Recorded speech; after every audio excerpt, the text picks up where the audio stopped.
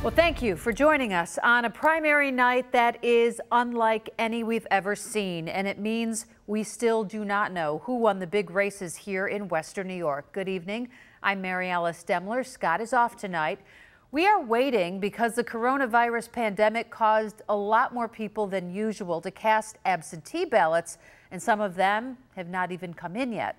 So the big focus out here is on the two races to replace Chris Collins, who admitted to insider trading and resigned his congressional seat earlier this year. Now, first, we have State Senator Chris Jacobs and former Grand Island Town Supervisor Nate McMurray running to fill out the last few months of Collins's term. Jacobs holds the lead there, but with a lot of ballots again left to count.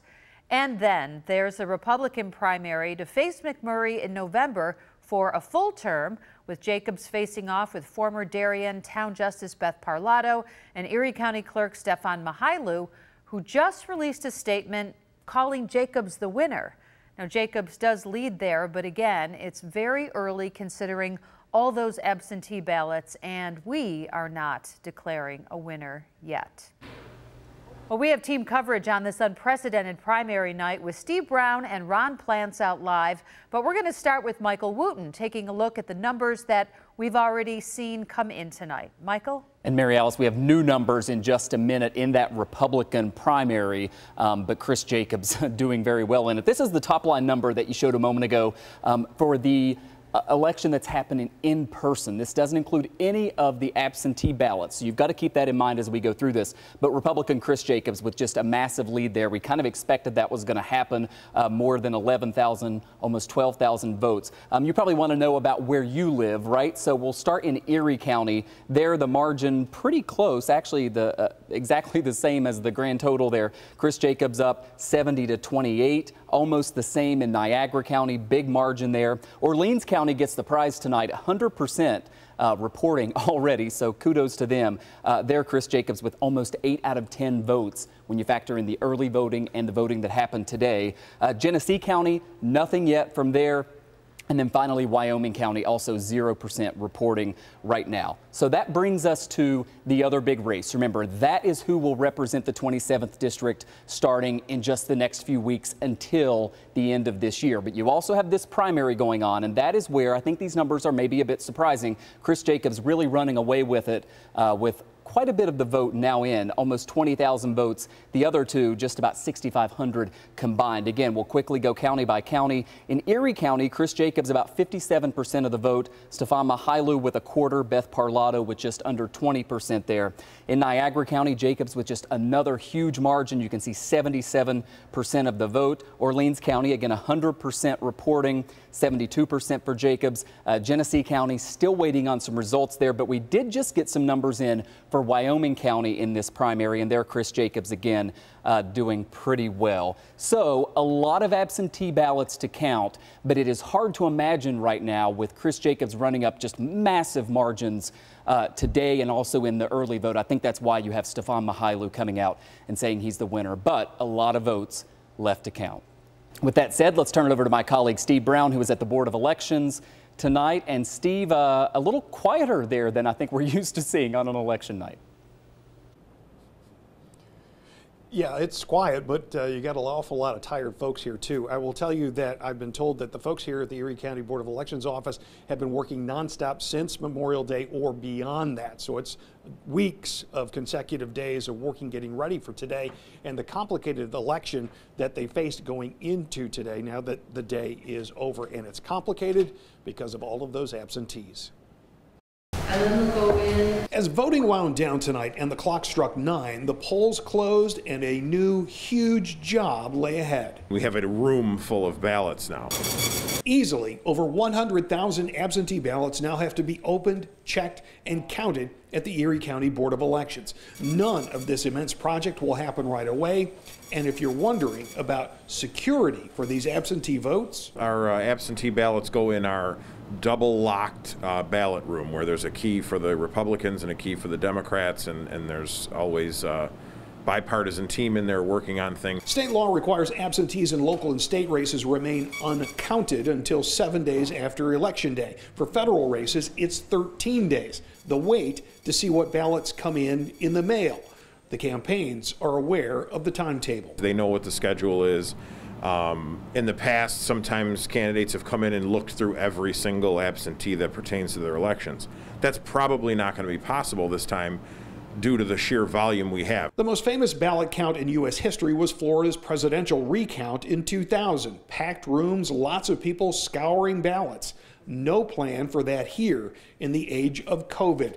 Space and headcount will be limited, and Zellner says once the counting begins, election staff will be asked to keep things chugging along. We're going to move as quickly as possible. I mean, we want we need to certify the election so we can get the ballot together so we can certify winners for the fall.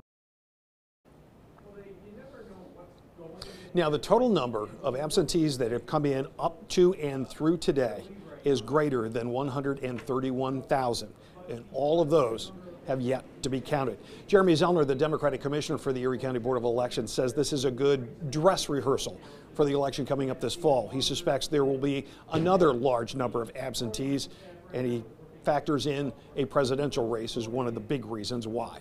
Well, that's it from here. But the big race tonight obviously is in New York 27. My colleague Ron Plants is covering that race over in Blasdell. Ron? Well, Steve, yeah, actually, we're here at uh, Chris Jacobs post election headquarters here in Blasdell. And we want to point out that we found a rather confident Chris Jacobs at this point. In fact, just a little while ago, we actually saw him out there on the porch uh, taking some calls. Perhaps he's hearing some of these early results coming in, especially with the primary election.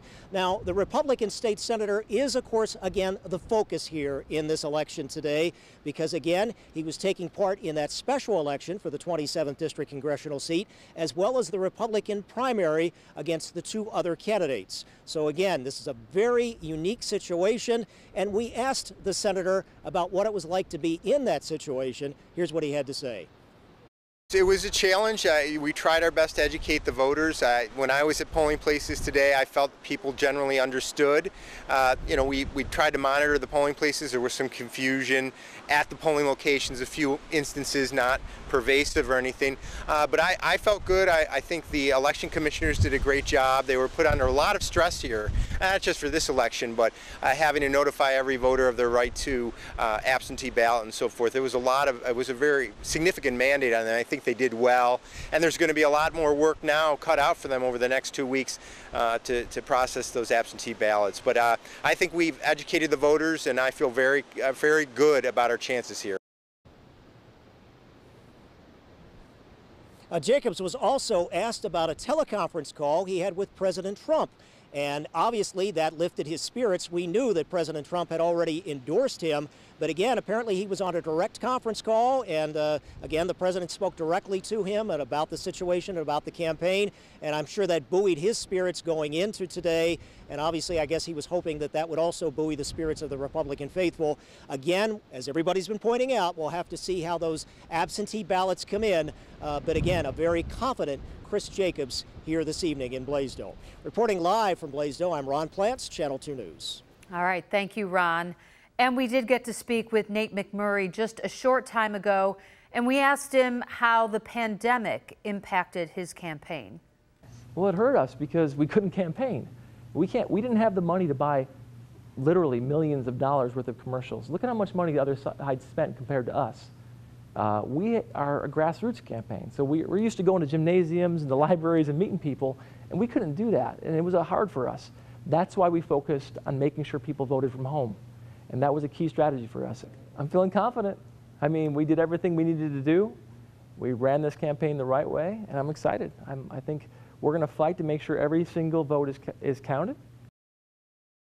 And we are joined tonight by two on your side political analysts, Democrat Bruce Fisher and Republican Carl Calabrese. Gentlemen, thank you for joining us. I want to focus first on the 27th special election.